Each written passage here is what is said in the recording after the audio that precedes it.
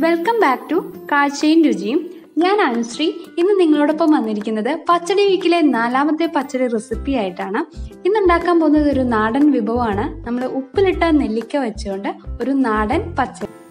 ഇന്ന് നമ്മൾ ഉണ്ടാക്കാൻ പോകുന്നത് ഉപ്പിലിട്ട നെല്ലിക്ക കൊണ്ട് ഒരു പച്ചടിയാണ്. ഒരു നാടൻ വിഭവമാണ്. ഇപ്പൊ പച്ചടി ഉണ്ടാക്കുന്നതിന് ആദ്യം നമുക്ക് ഈ നെല്ലിക്കയുടെ കുരു കളഞ്ഞതിന് ശേഷം ഇതിന്റെ ഫ്ലഷ് മാത്രം എടുക്കാം. ഞാനിവിടെ ആറ് നെല്ലിക്കയുടെ കുരു കളഞ്ഞെടുത്തിട്ടുണ്ട്. ഒരു മിക്സിയുടെ ജാറിലേക്ക് ചേർത്തിട്ടുണ്ട് ഉണക്ക കാന്താരിയാണ് ഒരു പതിനഞ്ചെണ്ണം എടുത്തിട്ടുണ്ട്. നല്ല എരിവുള്ള കാന്താരിയാണ്. അപ്പോൾ ഇത് കാന്താരി വെറുതെ ഉണക്കി സൂക്ഷിച്ചിരുന്നതായിരുന്നു. അപ്പോൾ അതിൽ നിന്നാണ് ഞാൻ ഒരു പതിനഞ്ചെണ്ണം ഇപ്പൊ എടുത്തിട്ടുള്ളത്. ഇനി ഇതിലേക്ക് നമുക്ക് തേങ്ങ കൂടി ചേർത്ത് കൊടുക്കാം. ഒരു മുക്കാൽ കപ്പ് തേങ്ങയാണ് ഞാൻ എടുത്തിട്ടുള്ളത്. കുറച്ച് കറിവേപ്പില കൂടി ചേർത്ത് കൊടുക്കാം. കുറച്ച് തിളപ്പിച്ചാറിയ വെള്ളം കൂടെ ചേർത്തതിന് ശേഷം നന്നായിട്ട് അരച്ചെടുക്കാം. ഇലിക്കും തേങ്ങ നന്നായി അരച്ചെടുത്തിട്ടുണ്ട്. അപ്പോൾ ആവശ്യത്തിന് വെള്ളം ചേർത്ത് അരച്ചെടുക്കുക. അതുപോലെ കാന്താരിമുളക് ഇല്ലെങ്കിൽ നിങ്ങൾക്ക് പച്ചമുളക് ചേർത്ത് ഉണ്ടാക്കാം. നിങ്ങളുടെ എരിവിനനുസരിച്ച് വേണം മുളക് ചേർക്കാൻ വേണ്ടിയിട്ട്. അപ്പൊ നമുക്കിനി ഇത് വറവിടാം. ഞാൻ പാൻ സ്റ്റൗവിൽ വെച്ചിട്ടുണ്ട്. അപ്പോൾ പാൻ നന്നായി ചൂടായി വന്നു. ഇനി ഇതിലേക്ക് നമുക്ക് രണ്ട് ടേബിൾ സ്പൂൺ വെളിച്ചെണ്ണ ഒഴിച്ചു കൊടുക്കാം. പച്ചടിയൊക്കെ ഉണ്ടാക്കുമ്പോൾ വെളിച്ചെണ്ണ തന്നെ ഉപയോഗിക്കാൻ വേണ്ടിയിട്ട് ശ്രദ്ധിക്കുക. കാരണം ഏറ്റവും ടേസ്റ്റ് വെളിച്ചെണ്ണയ്ക്കാണ്. എണ്ണ നന്നായി ചൂടായി വന്നിട്ടുണ്ട്. ഇതിലേക്ക് ഒരു കാൽ ടേബിൾ സ്പൂൺ കടുക് ചേർത്ത് വെക്കാം. കടുക് നന്നായി പൊട്ടി തുടങ്ങിയിട്ടുണ്ട്. ഇതിലേക്ക് രണ്ട് വറ്റൽമുളക് ഇതുപോലെ പൊട്ടിച്ച് ചേർത്ത് കൊടുക്കാം. ഒരു തണ്ട് കറിവേപ്പില.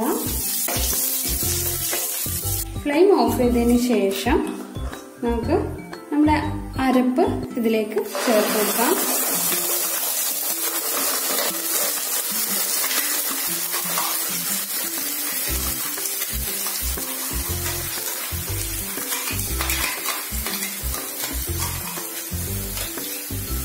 അരച്ച മിക്സിയുടെ ജാറിലേക്ക് കുറച്ച് വെള്ളം ഒഴിച്ചിട്ട് ബാക്കിയുള്ള അരപ്പൂടി ഞാൻ ഇതിലേക്ക് ഒഴിക്കുകയാണ്. നന്നായിട്ട് മിക്സ് ചെയ്യാം.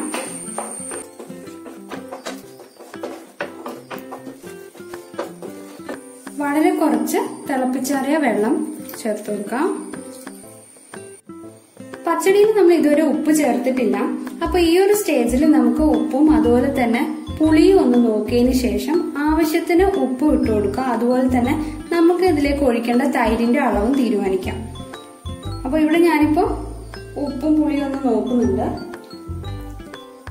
ഉപ്പും കുറച്ചിടണം. അതുപോലെ തന്നെ പുളിയും അത്ര കണ്ട പുളിയില്ല. അപ്പൊ അതിനനുസരിച്ച് നമുക്ക് ഉപ്പും അതുപോലെ തന്നെ തൈര് ഒഴിച്ചു കൊടുക്കാം. തൈര് ചേർത്ത് കൊടുക്കാം.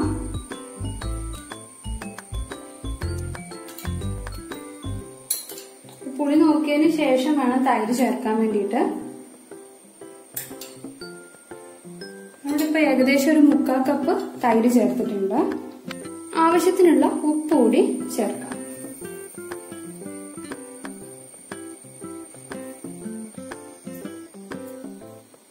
ഇത് നന്നായിട്ട് ഇളക്കി യോജിപ്പിക്കാം.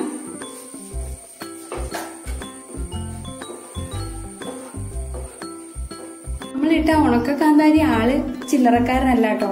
അത്യാവശ്യം നല്ല എരിവ് തന്നെയുണ്ട്. സ്വാദിഷ്ടമായ നെല്ലിക്ക പച്ചടിയുടെ റെഡി ആയിട്ടുണ്ട്. നെല്ലിക്കയിൽ ഒരുപാട് ഫൈബർ കണ്ടന്റും അതുപോലെ തന്നെ അയണും അടങ്ങിയിട്ടുണ്ട്. ടേസ്റ്റി ആയിട്ടുള്ള നെല്ലിക്ക പച്ചടി ഇവിടെ റെഡിയായി അപ്പൊ നിങ്ങൾ എല്ലാവരും വീട്ടിൽ ട്രൈ ചെയ്ത് നോക്കുക. അഭിപ്രായങ്ങൾ കമന്റ് ബോക്സിൽ അറിയിക്കാം. അതുപോലെ എന്റെ ചാനൽ സബ്സ്ക്രൈബ് ചെയ്യാത്തവരാണ് നിങ്ങളെങ്കിൽ ചാനൽ സബ്സ്ക്രൈബ് ചെയ്യുക ലൈക്ക് ചെയ്യുക ഷെയർ ചെയ്യുക. അപ്പൊ അടുത്ത പച്ചടിയായിട്ട് വീണ്ടും കാണാം.